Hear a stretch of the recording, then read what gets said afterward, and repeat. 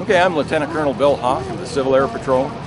We're an organization that's affiliated with the Air Force. We're an auxiliary for the United States Air Force. We're all civilian volunteers. And we have aircraft and we have ground vehicles and we have um, ground teams and uh, air crews. And we actually go out and do search and rescue. Uh, we also do aerial photography.